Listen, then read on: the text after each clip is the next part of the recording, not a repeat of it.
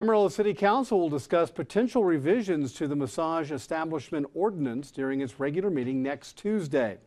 The application process and inspections of massage establishments scheduled to begin March 1st will be delayed, allowing council to receive feedback and address questions from the public. City council meetings are held on the third floor of City Hall at 3 o'clock.